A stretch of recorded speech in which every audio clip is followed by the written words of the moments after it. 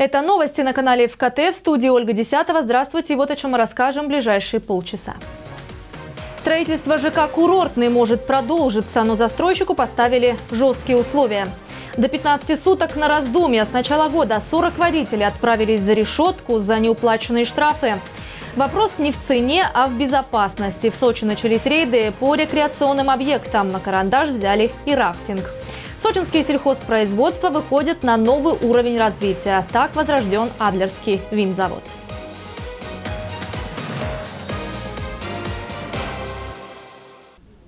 Государство сохранит поддержку аграриев в полном объеме. Об этом Дмитрий Медведев сообщил на встрече с активом «Единой России» и сторонниками партии.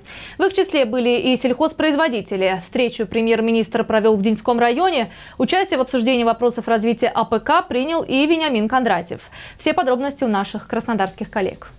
Никаких многотомных докладов и отчетов. Темы разговора задавали сами аграрии. Премьер-министру рассказывали о том, что волнует больше всего. О снижении ставки по кредитам для сельхозпроизводителей, о субсидиях, о нехватке кадров. Полностью неотлаженный вопрос со сбытом производимой продукции. Благодаря программе импортозамещения ее объемы растут. И теперь возникает вопрос, где хранить выращенные овощи и фрукты. Не рассматривается возможность именно строительства федеральных логистических центров для хранения сельскохозяйственной продукции и оказания помощи на местах э, в регионы для того, чтобы мы могли здесь э, у себя построить такие центры. Мы как раз говорили с Вениамином Ивановичем по поводу э, того, чтобы строить такие центры на Кубани. Э, и мы эту работу обязательно продолжим, э, имея в виду, что нужно строить и большие, и не очень большие центры в зависимости от э, ситуации на рынке. Остро сегодня стоит и вопрос земельный. В стране 29 миллионов гектаров зарастают сорной травой, а могли бы приносить богатство богатый урожай. Такие участки должны изымать у недобросовестных пользователей. Тем временем для тех фермеров, которые готовы работать, процедура получения земли должна быть проще. Губернатор Кубани не раз говорил о возвращении права крестьянам получать ее без торгов. И губернатор нам помогает, э, создал рабочую группу и вел омбудсмена по вопросам фермерам. Но поскольку эта тема не только о Кубани, вот мы хотели вашей тоже поддержки как бы, попросить в том смысле, чтобы нам нужно навести здесь порядок да, в этих вопросах. Э, и в том числе э, продолжить обновление законодательства земельного, которое фактически не обновлялось с реформой земельной. Не уверен, что нам нужны именно реформы в области земельного законодательства законодательства. Совершенствовать его обязательно будем. Сейчас дело правительства будет подготовить необходимые подзаконные нормативные акты для того, чтобы реализовать эти новые правила по э, изъятию неиспользуемой земли. Что же касается вопроса по поводу возможности передать без торгов такую землю крестьянским фермерским хозяйствам, я считаю, что это было бы нормальной практикой. Э, Все это нужно делать обязательно. Здесь э, правительство всегда будет э, заниматься этими делами, не сомневайтесь. Поддержал Дмитрий Медведев и предложение создать в Краснодаре Центр агроинноваций. В кубанской столице есть 10 научно-исследовательских институтов и 3 университета, которые ведут разработки в АПК.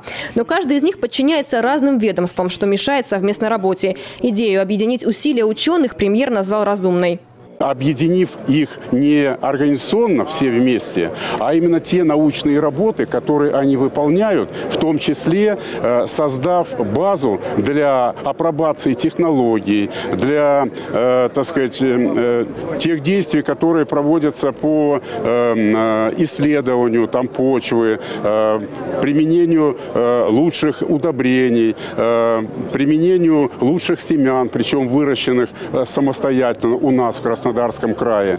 Результат, безусловно, был, был бы лучшим в целом по сельскохозяйственному комплексу. А затем можно было бы эти инновации рекомендовать для распространения на других территориях, в других регионах. Сельское хозяйство сегодня развивается неплохими темпами, отметил на встрече Дмитрий Медведев. Импорт продовольствия снизился на 35%, и на прилавках магазинов сегодня все больше отечественных продуктов.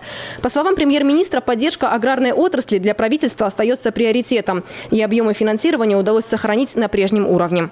Самое главное, что прозвучало, что будет действовать программа развития села. Это, по-моему, для нас решает все вопросы. Будет газификация, ура.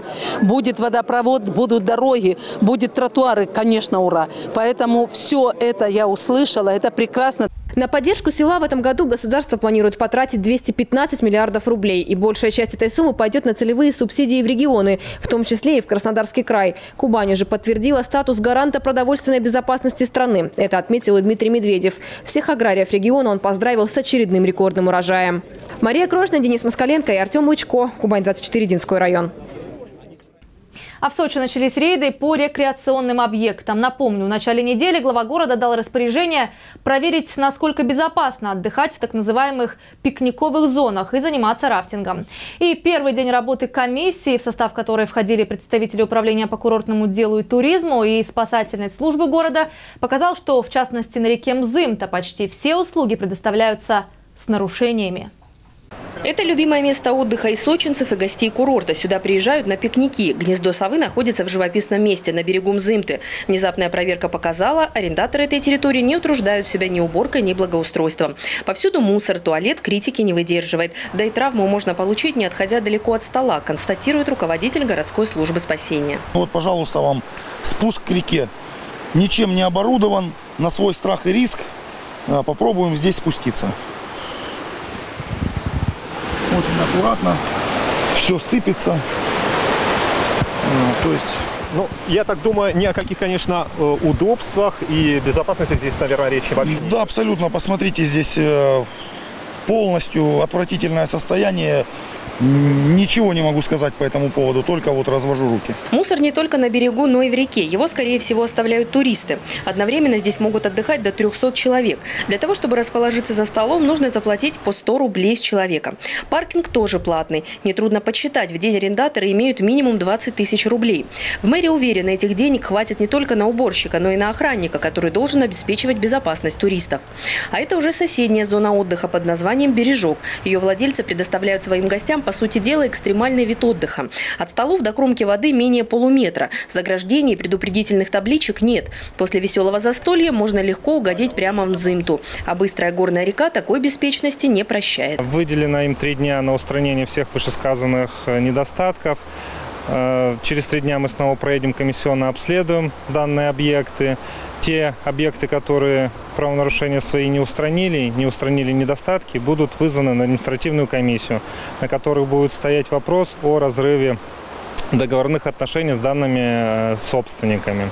Только после трех часов работы проверяющим удалось найти здесь же на берегу Мзымты практически образцовое место для пикников.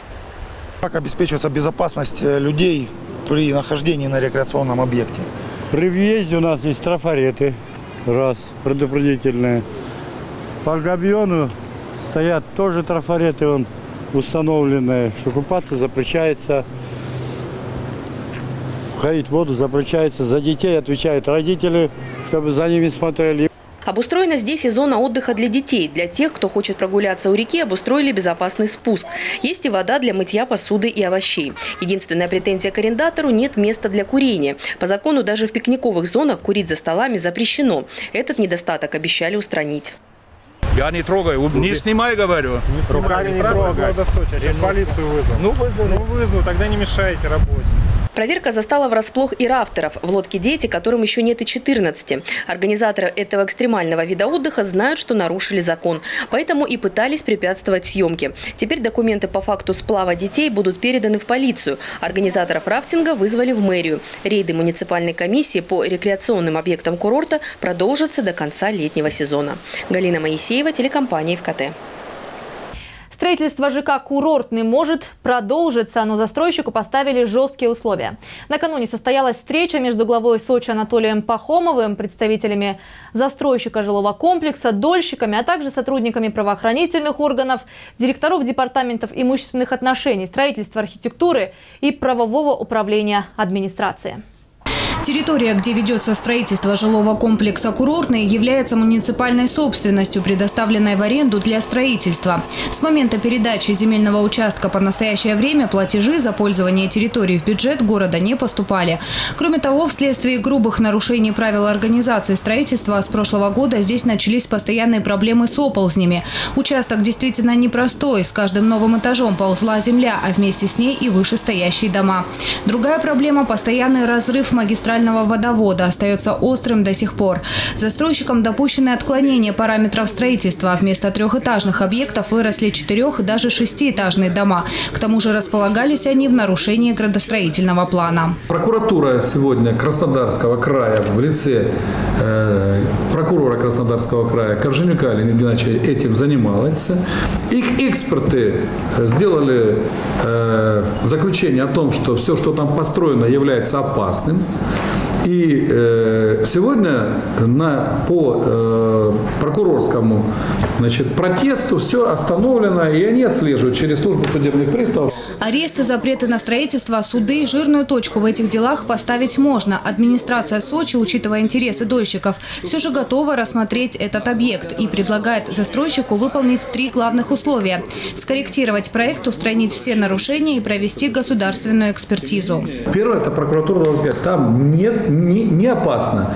Они сделали мероприятие, которое позволяет этот э, земельный участок считать не опасным. То есть подпорные стенки там, ну, в общем, заключение специалистов, что теперь этот участок, где построено там 50 домов, он не ползет. Вы сделаете либо корректировку проекта, либо новый проект. И мы готовы вам э, уже по новому проекту, прошедшему экспертизу, жестко прошедшему, потому что вопросы безопасности стоят на первом плане. Мы готовы рассмотреть и дать новое разрешение уже откорректированного проекта. При этом глава города потребовал решить вопрос с семьей Верниченко, чей дом был разрушен в результате оползня, спровоцированного отвалом грунта. В прошлом году застройщик заключил соглашение с пострадавшими о предоставлении им нового жилья, но до сих пор оно не выполнено. Глава города поручил ускорить решение проблемы узаконивания за семьей потерпевших земельного участка, где находится их аварийный дом.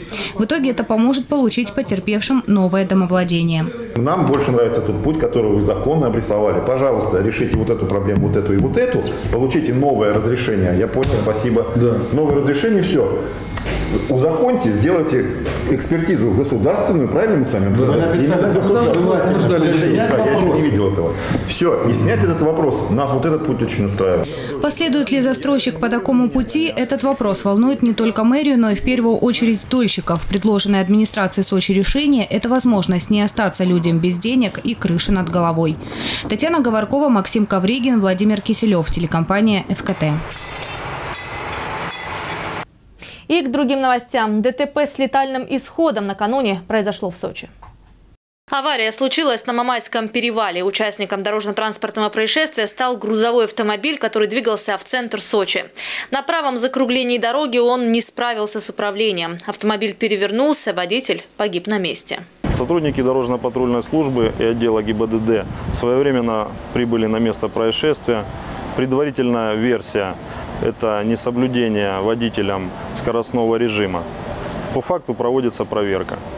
Более 40 водителей в Сочи с начала года за уклонение от уплаты штрафов за нарушение ПДД отбыли наказание в виде ареста.